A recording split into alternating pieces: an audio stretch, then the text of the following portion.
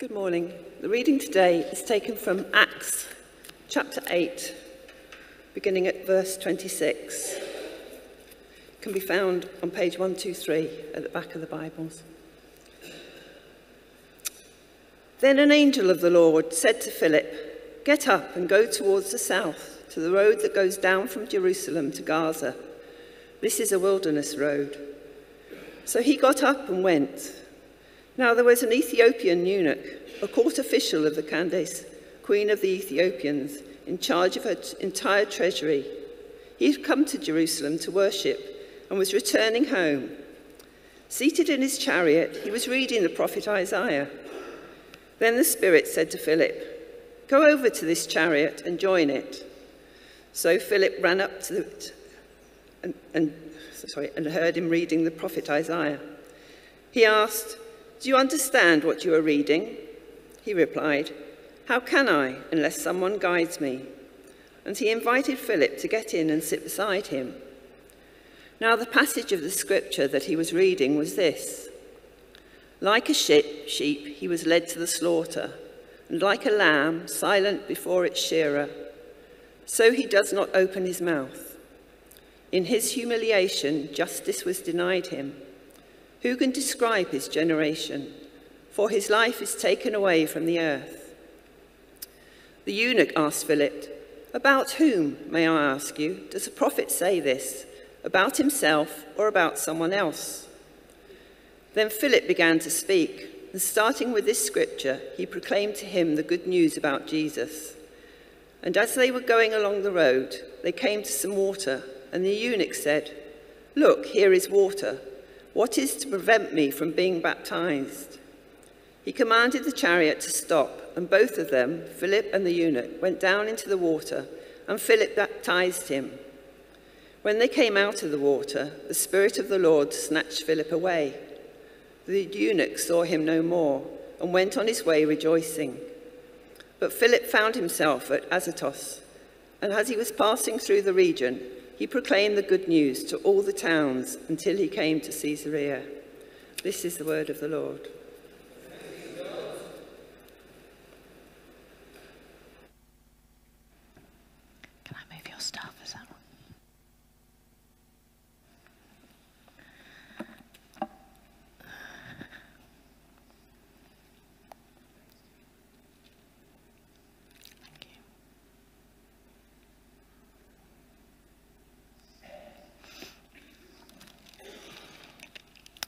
Sorry about that. Good morning. Nice to see you. So, we've been hearing about Philip, haven't we, sharing the gospel in Samaria as a result of them spreading out due to persecution. And despite opposition, there's something funny going on here. What is it? Sorry. Is that better? Great. So, despite the. Oh, and this is why I hate this mic. Sorry, it's my fault. Just need to do that. Okay, trying again. Is that better? Hurrah. Okay. So, despite the. Oh. Can I just use this one? No. Okay, we're going, right. Despite opposition, like the microphone, the good news has been spread actually quite successfully in Samaria, and the passion of those sharing the good news is really, really obvious. So I wonder, what are you passionate about? Gavin Calver, who co wrote this book with Anne Calver, um, that we've, we've been looking at uh, quite a bit over the last couple of months. He spoke to a researcher on passion and he asked how you can tell what people are passionate about. His thinking was it was probably what people spent their money on. I think I might have guessed the same, but apparently what you spend your money on is the result of social conditioning. What actually gives away people's passion is what they give their time to and what they speak about. In fact, this expert said that in a 30 minute conversation, you can always tell what somebody is passionate about. So I wonder what would a 30 minute conversation with you reveal? Work? Children or grandchildren? Golf? I'm looking in one particular direction. Your pets? Hobbies? Or Jesus? Jane talked last week about being able to share our faith. And I just I wonder how you're getting on with that. Not just in this week, but generally. If you did miss um, last week, I'd really encourage you to catch up using our YouTube channel or on Facebook. You know, we definitely see Philip as someone who was passionate about Jesus because his conversations all seemed to lead to sharing Jesus, and the results were that the good news was spread significantly in Samaria, a place that perhaps they wouldn't have expected a good reception. Although, if you're familiar with the story of the Samaritan woman at the well with Jesus in John chapter 4, and if you're not, do read it, I wonder if the way had been paved before a little. But this morning, we read of an account in the desert between Philip and an Ethiopian eunuch. An unusual, unexpected encounter by all accounts, yet significant and in really an unexpected place. So we're going to consider what led them both to that desert road. We'll explore the encounter and then consider where it took them both and what we can learn from all of that. Ministry was going really well for Philip in Samaria. So why do we see him go to the desert road? Not an easy or comfortable place when all was going well. Well, quite simply for Philip, he was told by an angel of God to go there, and he obeyed. I hope this might be something we all aspire to, not necessarily specifically the desert road, but following the direction of the Spirit. And it's something that in sermons I've heard on this passage before, that's something that's often the focus. And I do want to look at that some more. But I also want to consider the Ethiopian eunuch. What brought him there? And what was the significance of his conversion for him and perhaps for others? Now, this is harder to explore, and we're going to have to use some supposition and understanding from other historical contexts. He isn't even named, so we can't identify him. And I think that this is because in the society of the day, he would have been marginalized and someone considered, in many contexts, to be insignificant by world standards. He's Ethiopian, and so therefore a eunuch, uh, therefore a Gentile, sorry, and he's a eunuch. Now, in biblical understanding, this could mean one of three things. Either he was born this way, or he was made to be this way by others through castration, or he was someone who chose to be celibate. Now, I don't know for sure, but my wondering is that he might have been made this way by others. And I'm thinking this because we read that he was a court official in the court of Queen Candace of Ethiopia. Now, eunuchs were frequently made to be so in some cultures, to be trusted with the female royals trusted in that they wouldn't be tempted with the royal women in the same way that other men might have been. In cultures where women were generally, even the uh, wealthy ones and royal ones, seen as possessions. We see this use of eunuchs in royal courts elsewhere in the Bible as well, portrayed in the book of Esther, where king whose name I can't pronounce ruled from India to Ethiopia. Eunuchs were placed in charge of the king's women. Now, obviously, there's a whole issue of patriarchy and power play of that system that we actually haven't got time for today, but I do want to note it and put it out there. So while eunuchs were put in trusted positions in royal courts and relied on and trusted, in society at large, actually, they were more of a reviled group, outcasts,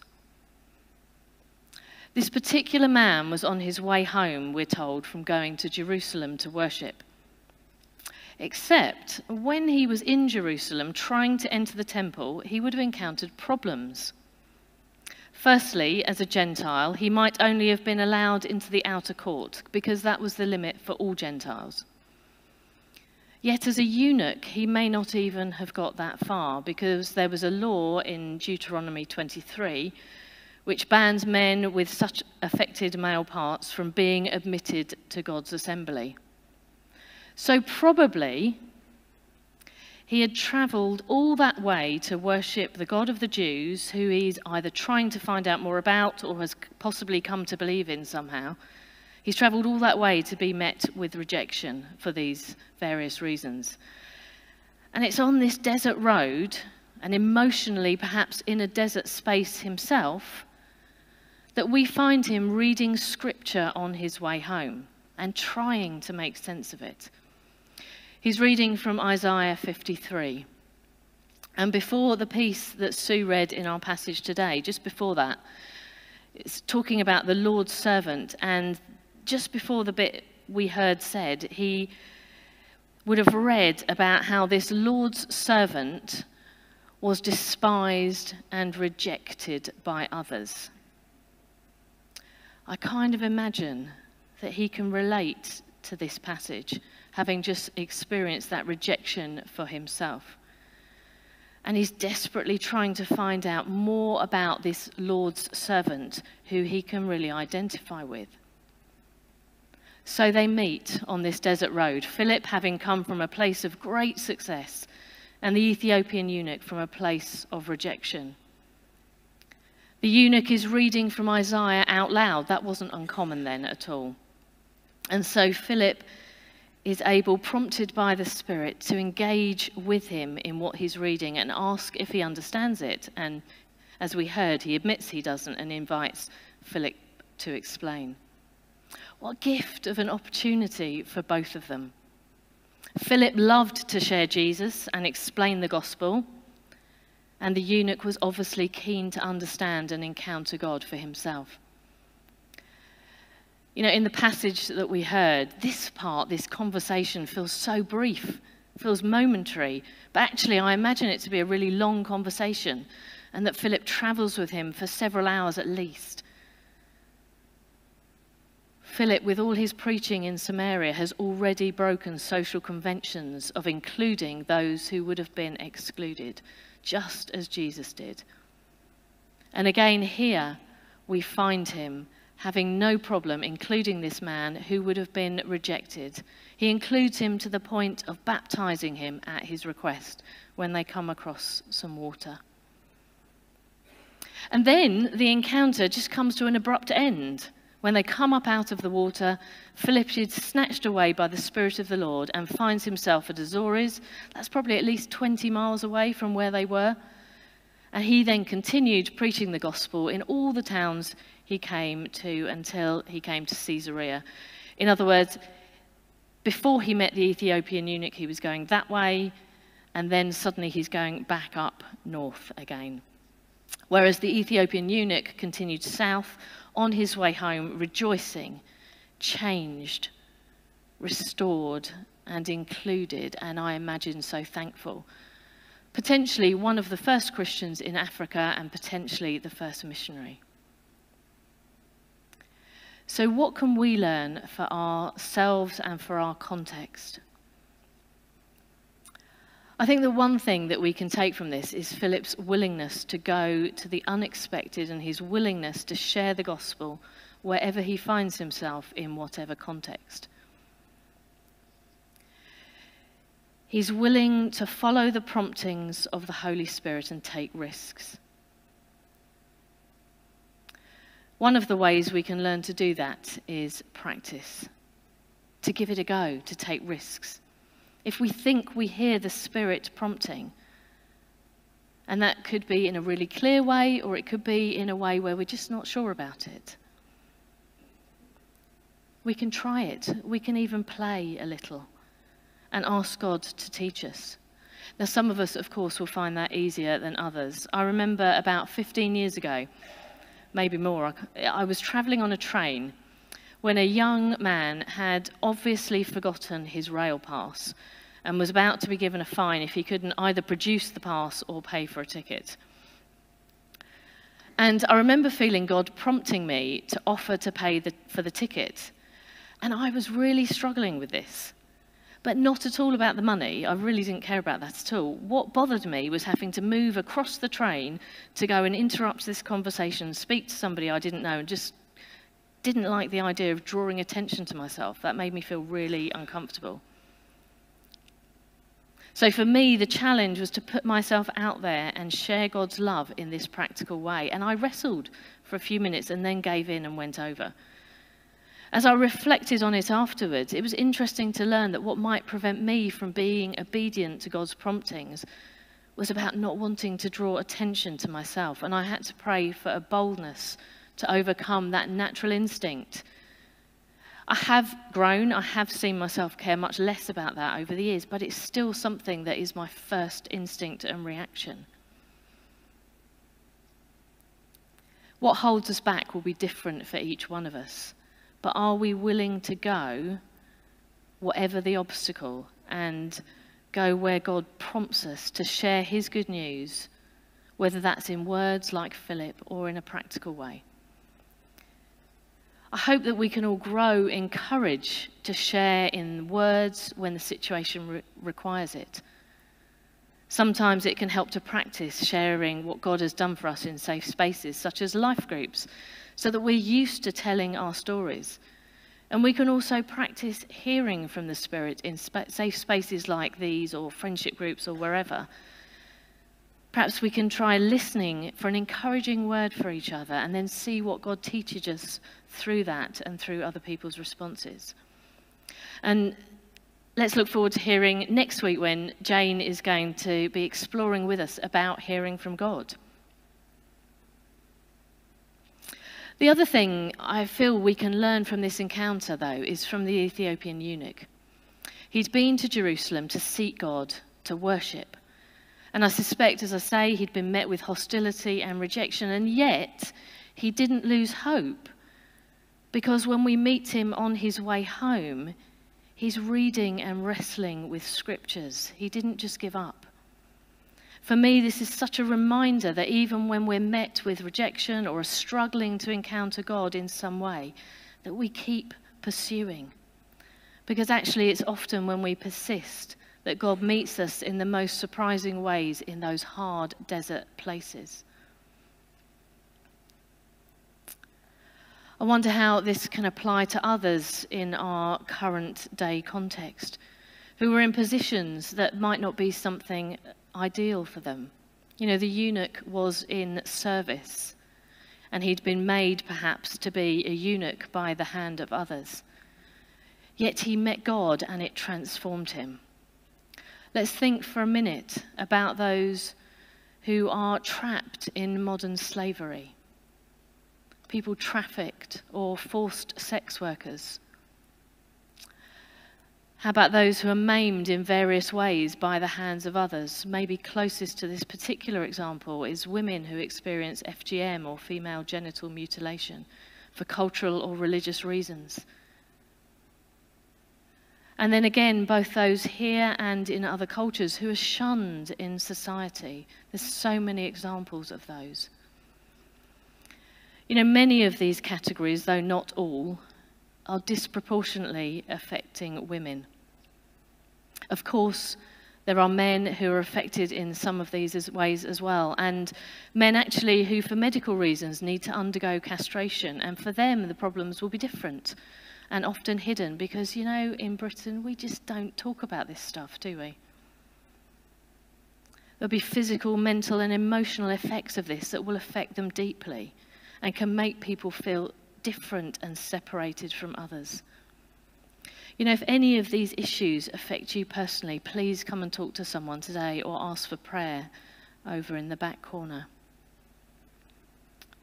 But let's also pray for all of these people in these different kinds of situations to have similar encounters with someone who can share the gospel with them for their own transformation and rescue but also that they might also transform the lives of others in their context.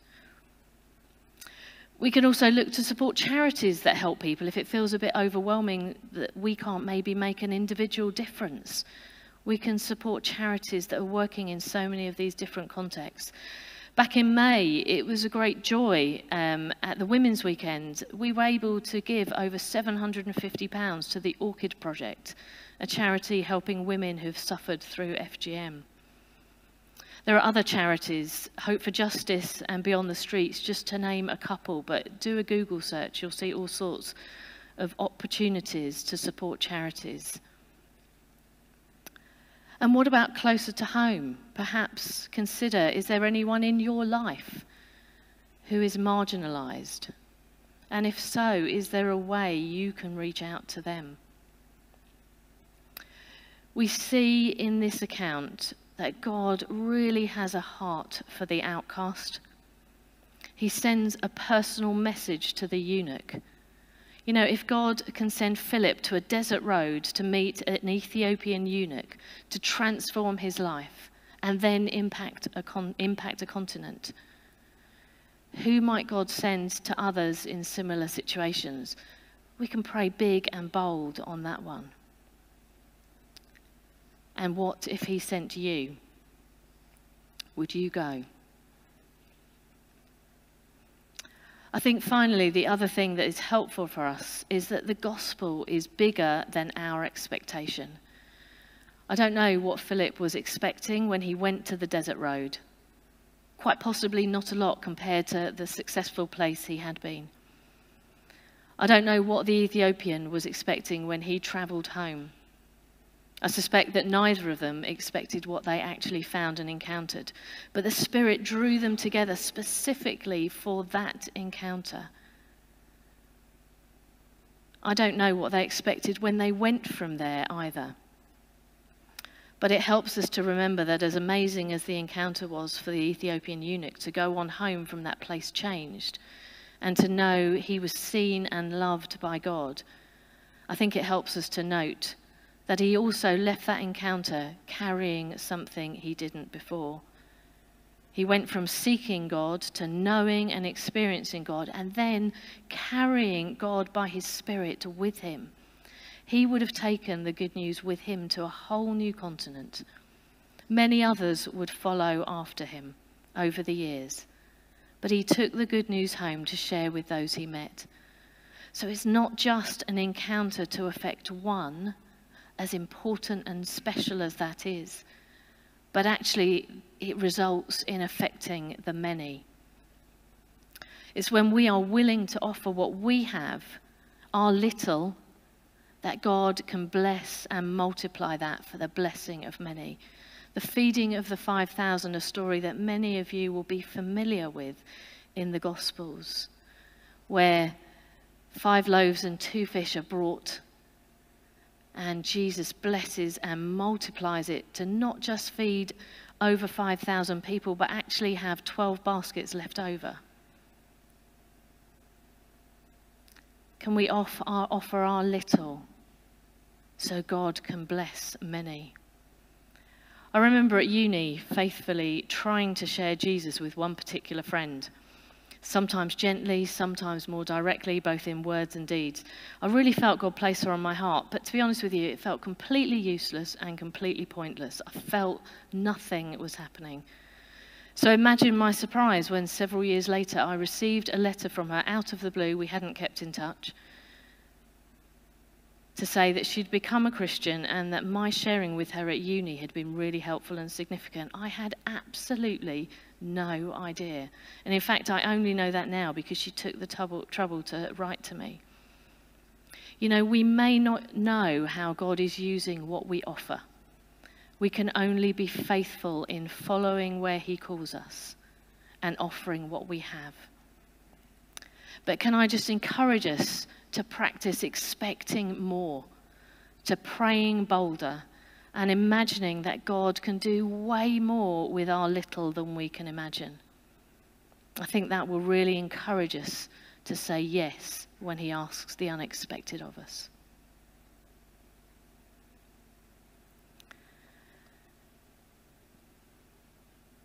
We're just going to take a moment to see what God wants to say to us individually. Mainly, we're going to be quiet, but I'm going to just share a couple of words that the prayer team um, had when they were listening earlier before the service. You might like to stand at this point, but if you're more comfortable where you are, that's fine as well.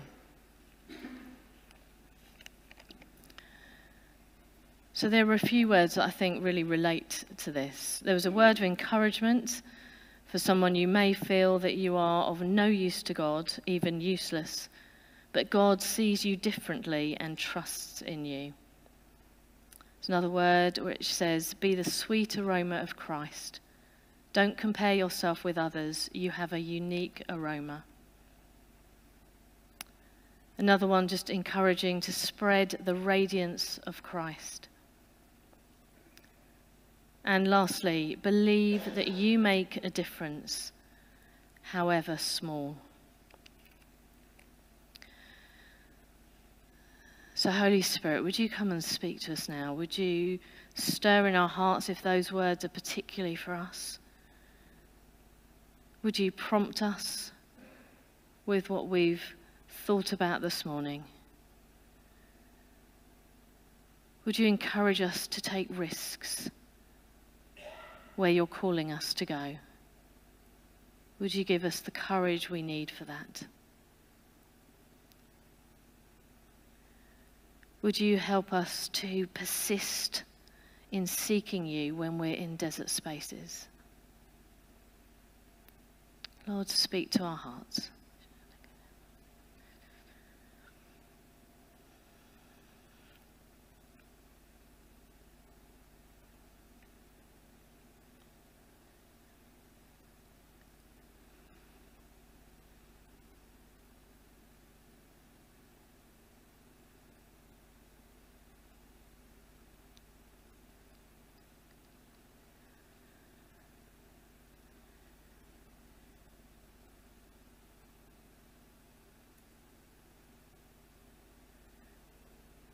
Lord, would you help us to have great expectations in what you can do? Would you grow our faith and grow our anticipation?